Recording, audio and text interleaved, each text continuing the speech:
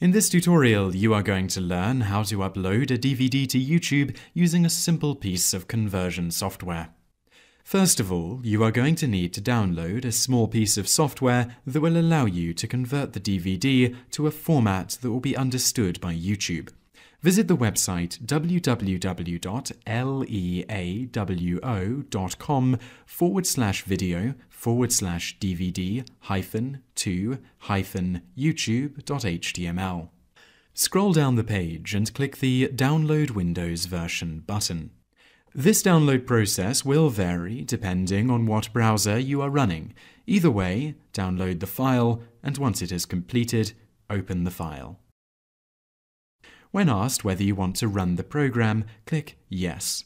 Click Next in the installer, accept the license terms, and click Next again. Click Next three more times, and then click Install. When the install has completed, click Finish. The program will begin, and click Try in the window that appears. Click the disk icon with a plus next to it in the top left of the program and select the DVD in your computer and click the Select Folder button.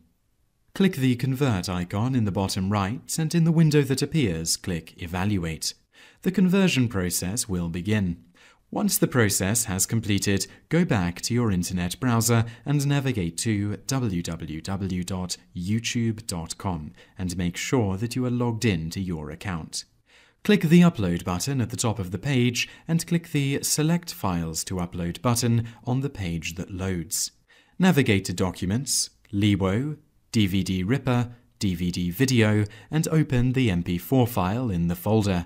The video will start to upload to YouTube. Once the upload has completed, you can click the link on this page that will take you to the video and it will start to play, and that is how to upload a DVD to YouTube.